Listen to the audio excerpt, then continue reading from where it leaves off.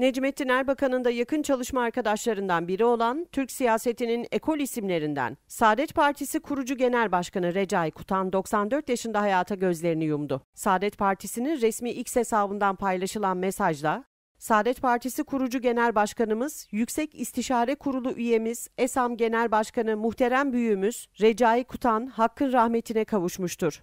Milletimizin ve camiamızın başı sağ olsun denildi. Türkiye Büyük Millet Meclisi Başkanı Numa Kurtulmuş, vefat eden Recai Kutan için taziye mesajı yayımladı. Kurtulmuş mesajında şu ifadeleri kullandı. İnna lillahi ve inna ileyhi raciun. Milli Görüş Hareketi'nin duayenlerinden, ahlakı, kişiliği ve devlet adamlığıyla Türk siyasetinin saygın isimlerinden, ömrünü Allah'ın rızasına ve Türkiye'nin kalkınmasına adayan Recai Kutan ağabeyimizi kaybetmenin derin üzüntüsünü yaşıyoruz. Rabbim onu rahmetiyle kuşatsın, mekanı cennet olsun. Mehmet Recai Kutan 1930 yılında Malatya'da doğdu. İlk, orta ve lise tahsilini burada tamamladı. İstanbul Teknik Üniversitesi İnşaat Fakültesinden mezun oldu. 1953'te de devlet su işlerinde çalışmaya başladı.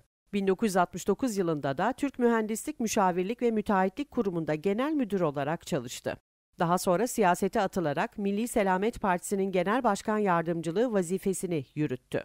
1977 seçimlerinde de Milli Selamet Partisi'nden Malatya milletvekili oldu. 1977 koalisyon hükümeti döneminde de İmar ve İskan Bakanlığı yaptı. 12 Eylül 1980 darbesi sırasında da tutuklanarak 9,5 ay cezaevinde kaldı. Askeri mahkeme tarafından da 2 yıl hapis cezasına çarptırıldı.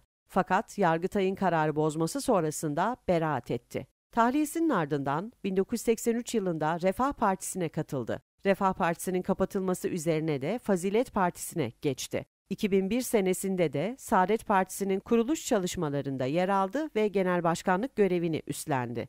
26 Ekim 2008 tarihinde de vazifesini Numan Kurtulmuş'a devretti.